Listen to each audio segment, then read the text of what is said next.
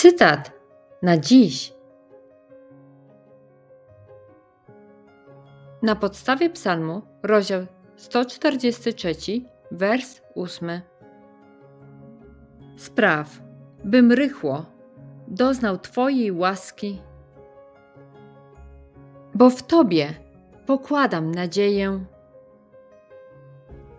Oznajmij, jaką drogą mam kroczyć, bo wznofę do Ciebie moją dufę. Amen.